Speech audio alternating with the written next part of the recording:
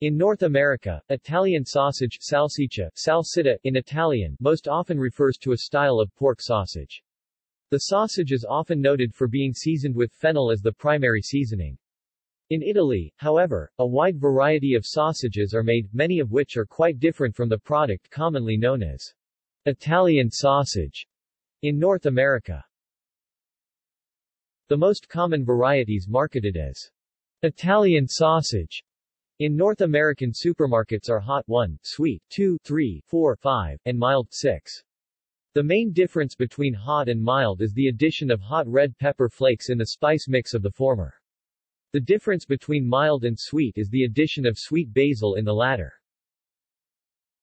In Australia, a variety of mild salsiccia fresca, literally meaning fresh sausage, seasoned primarily with fennel is sold as Italian sausage. See also. Sausage and peppers. Sausage sandwich. References